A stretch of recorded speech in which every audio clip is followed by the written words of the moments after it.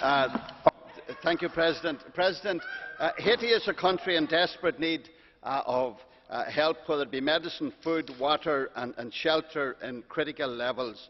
Tá ancuid daoine sa ceantar uh, gur bhfuil an craig talúníad ag fannacht ar cabhar nachhfuil taga go fáil.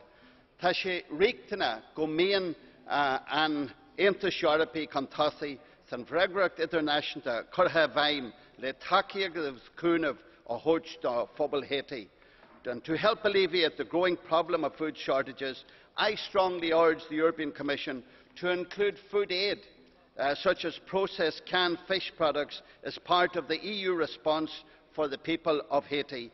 I know that canned fish products, high in protein and have a strong shelf life, and could be provided at short notice as it was in the past. In conclusion, mar sin Commission Europa agus ar na Commissionerí le freigrach acu a lei cúna forbara agus cúna agus uh, isci a coharia an tógra seo a praine. And President, thank you very much for your indulgence.